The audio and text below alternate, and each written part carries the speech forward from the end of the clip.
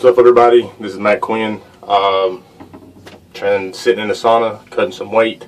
Um, two days away from weigh-ins. Um, sitting about 12 pounds heavier than I need to be, give or take. You know um, what time of day it is, how much fluid I've had to drink. Um, so tonight, sitting in the sauna for maybe an hour, um, if I can handle it. I've already had to peel out my sweatshirt, and my t-shirt, and it's only been about 23 minutes.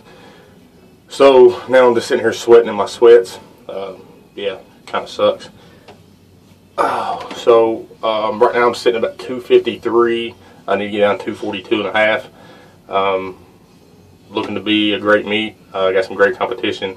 Um, I don't see it as competition. I see it as some guys that I've met online. Uh, we've forged a good friendship. So in powerlifting, the only thing you really compete against is your old total. So get to go out there and help cheer these guys on. Hope they PR and hope I PR too um, which we all should. I've been keeping up with their training. They keep up with mine. Um, training's going pretty good. Um, excited about this meet. Uh, it's a huge meet, a great opportunity for myself. Um, since I've only been powerlifting since training for powerlifting since last January, this will be my third meet. Uh, my second meet at 242. Uh, so I'm having a little trouble cutting this time. Uh, I got a little heavier than I expected, but all in all, feeling strong, feeling healthy for the first time at any meet. Uh, so keep keep a track. Uh, looking at my Facebook, I'll be posting a link to the to the live stream of the the meet.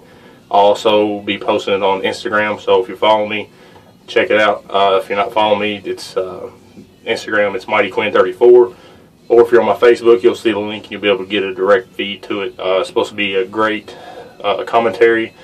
Talked to Steve Dennis another night, and he was telling me that the Anthony guy that's going to be doing it does Las Vegas Power Hour. Actually, is very colorful. He screams, you know, really gets into the media, has a passion for the sport, which is good. Uh, so, probably next video blog you'll see from me will be either at the airport or when I get to California. Um, I'll keep y'all posted on how my weight cut's going. Uh, I might post another one tomorrow night. Uh, but till then, stay strong, people.